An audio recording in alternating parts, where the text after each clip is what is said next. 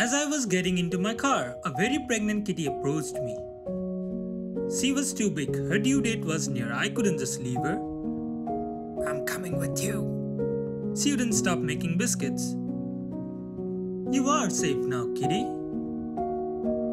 What should we call this precious mama?